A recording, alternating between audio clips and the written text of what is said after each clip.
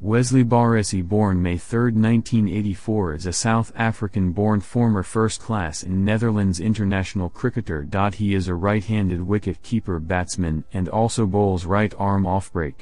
In February 2021, Barresi announced his retirement from all forms of cricket. Wesley became the 100th victim to Indian cricketer Yuvraj Singh, when he was dismissed in the 2011 World Cup game against India.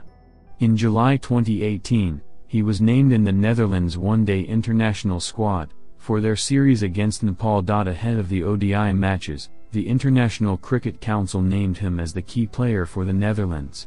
In July 2019, he was selected to play for the Amsterdam Knights in the inaugural edition of the Euro T20 Slam Cricket Tournament. However, the following month, the tournament was cancelled.